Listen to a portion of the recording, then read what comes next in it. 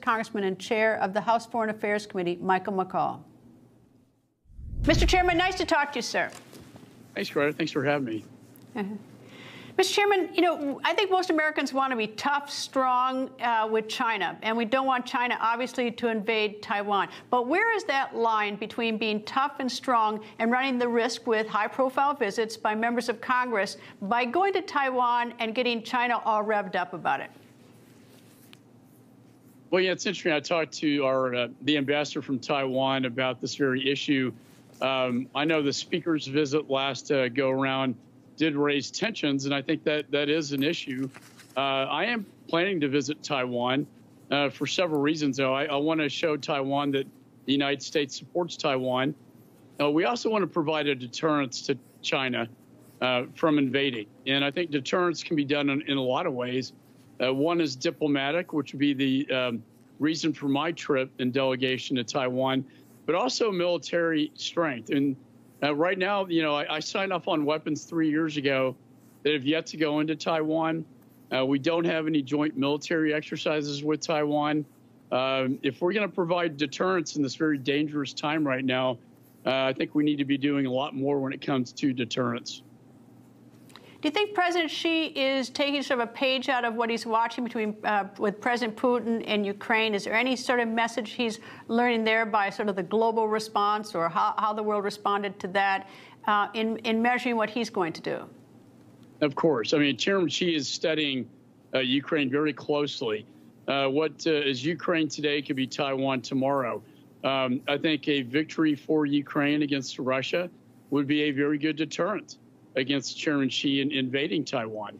And, and so, uh, you know, we've seen lately these reports now, not just of buying energy or providing uh, components like satellite and surveillance components to the Wagner Group, but now the uh, the possibility they're going to provide lethal weapons to Russia to uh, fight Ukrainians with. This really escalates uh, the tension and the conflict. But you can't separate the two; they're both allied with each other as is Iran for that matter, with the Iranian drones and North Korea.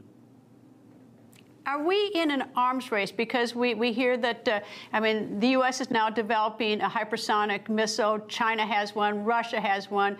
Iran is nearing very close to being able to have a nuclear weapon, a nuclear bomb. And it, it seems like everything is going in one direction. I mean, even the, uh, the uh, Chinese defense minister wouldn't take our Secretary of Defense's phone call during the spy balloon. It seems like everything is going in the wrong direction. There's nothing going towards peace. It's going towards an arms race. Well, I mean, I, I go back to Afghanistan. That was a turning point.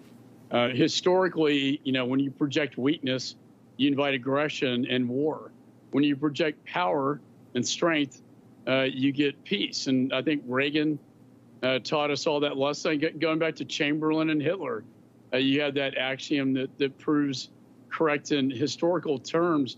And I think you're seeing that right now since the fall of Afghanistan and the weakness being projected. I think uh, really provoked uh, Putin and, and Chairman Xi to be more aggressive to do something that they've been wanting to do, you know, for quite some time. When it comes to nuclear arms, uh, the Russia now uh, is going to violate the New START treaty.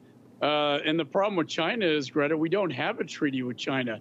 So even if we did, we couldn't we couldn't enforce any sort of nuclear restrictions on the hypersonic weapon. China developed this almost a year ago. They can circle the world and land with precision with a nuclear bomb. We don't have hypersonic missiles right now in the United States. But I also would uh, like to bring up that the, the Chinese hypersonic is built on the backbone of American technology, and we found component parts in the spy balloon as well as the Iranian drone. So it gets me back to the point we got to stop selling this technology. The thing goes into military weapon systems that could be turned against us. Uh, I, I, don't know. I've interviewed Prime Minister Netanyahu many times. I don't know if he told me this or I've just heard him interviewed so many times I've heard him say this, but he says that, that he will never let Iran get a nuclear weapon, nuclear bomb. Well, we're, you know, it looks like that's right around the corner. So does the United States let Prime Minister Netanyahu do this himself? Or does the United States get involved somehow? I mean, where is this going? It's sort of the unstated fact is that they're going to have a nuclear weapon soon unless somebody does something. Well, I think you're right. They're approaching 85% uh, enrichment, which means weapons grade.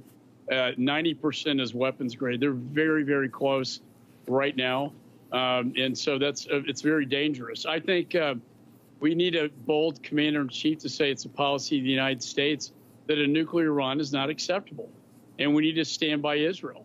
Israel cannot do this alone. By the way, Greta, it necessarily takes our action as well.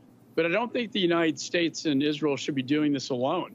I think we would need to join with our allies and our partners. If anything that's come out of this invasion of Ukraine is a stronger NATO uh, and allied system, and we all need to stand against a nuclear Iran and let the Ayatollah know that we will. Uh, that is unacceptable, and let them know in uncertain terms what that means. But what does that mean? I mean, it's one thing to say it's unacceptable, and we're sort of running out of time to sort of all agree with our global, our allies is what we're going to do. We're, we're really running down the clock on that. I mean, you know, it, it, to say it's unacceptable, like, so what, what are our options? Well, I think back channel let them know that we will take military action against their nuclear program. And I've seen the plans to do it. We, we're capable of doing it. Israel can't do it alone. Um, but we have to have our allies with us on this and send a very strong message of deterrence, uh, which we haven't been doing lately, uh, that we're not going to let them go down this path. It would mean a nuclear arms race in the Middle East, a direct threat to Israel, but also Saudi Arabia, and the whole region would turn into an Armageddon, if you will, uh, of, of uh, you know this nuclear arms race. Um, and we have to stop it with the Ayatollah. If you go any place, uh, any shopping center, anything, you look at kids looking at their iPhones. They're all looking at TikTok. What do you say to, uh, to young people looking at TikTok? They don't want you, they don't want that taken away from them. So, what's the threat there? They don't. They don't want it taken away. And you know, I talked to my own children about this, and you know, it's it's a, a favorite uh, app for a lot of the younger generation. Uh, the the problem is, and and this is uh, all the top national security officials have warned about TikTok it's really a back door into your iPhone. Uh, it'd be like a spy balloon in your phone that can not only look at your data and most sensitive data, but also track your keystrokes, uh, track your uh, uh, uh database searches, and send uh, messages on the phone to influence your way of thinking and behavior. It's a, a direct line from the PRC into our youngest generation's phones. And um, that's why I marked up and passed out of my committee a bill to lay the constitutional framework uh, to ban TikTok, uh, as we've done with members of Congress, protect our own children from this threat from the People's Republic of China. Mr. Chairman, thank you, sir. Thanks, Greta. Thanks for having me again.